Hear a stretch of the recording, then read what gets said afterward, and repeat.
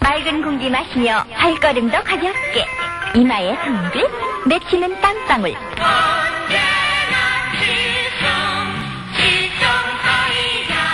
빈병은 꼭 가져가세요.